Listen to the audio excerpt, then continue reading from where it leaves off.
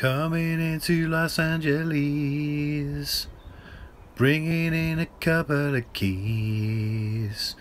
Don't touch up my bags if you please, Mr. Customs Man. Oh no.